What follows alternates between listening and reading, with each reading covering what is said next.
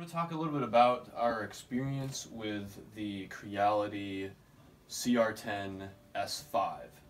We have had a lot of success with the standard Creality CR10 model, which is um, the print bed is about this big, and when we saw that they had one that was 22 by 22 by 22 build area uh, inches, we had to try it. So here it is, and I have to say, um, because of the really large print area, this model has a few extra challenges out of the box. For the standard CR10 models, we were able to get parts printing almost right out of the box, which is incredible.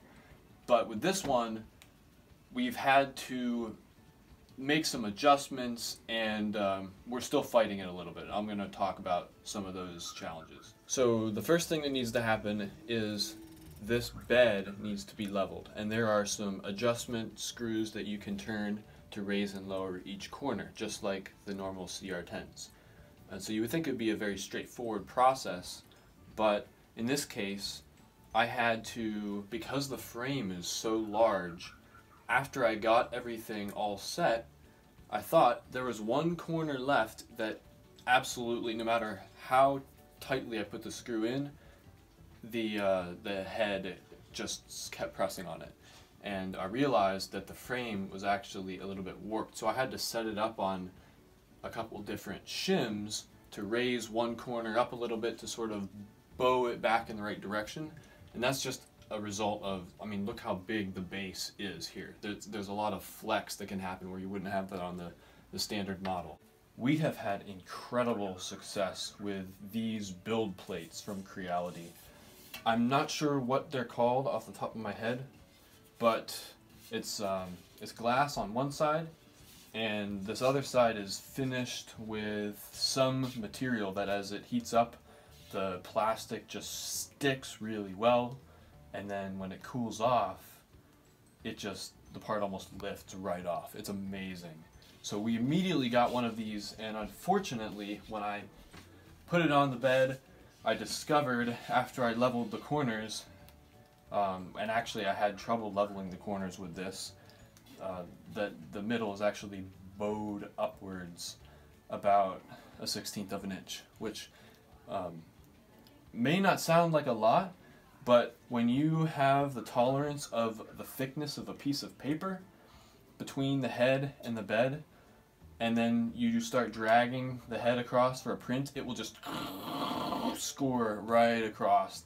And the more scratch the surface gets, the less effective it is. So that was really unfortunate that this came uh, so warped. So I'm, I'm really hoping that Creality will replace this for us we have had a lot of trouble just with glass print beds in general.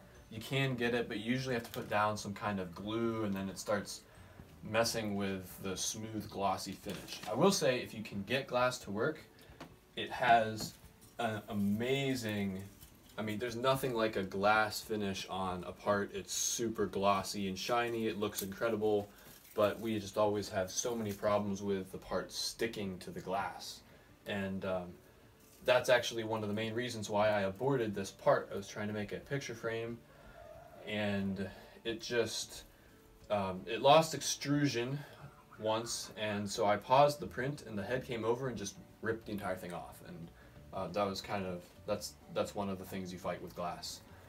Um, which brings up the next issue. I usually with these, I think they're called like SharkBite adapters and uh, this little hose that the filament goes through just sort of pushes as hard as you can in there and then it locks.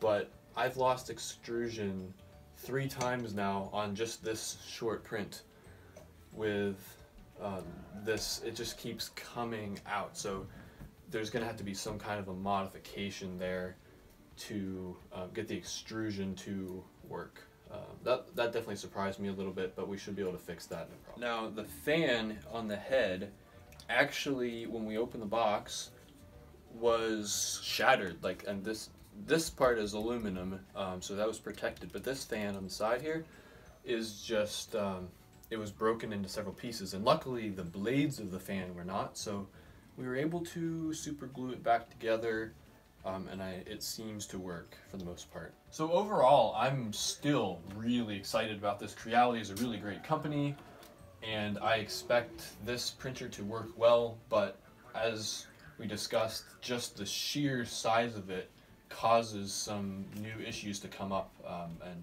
once those get resolved, though, I'm, I'm really excited to see how, how useful this machine will be.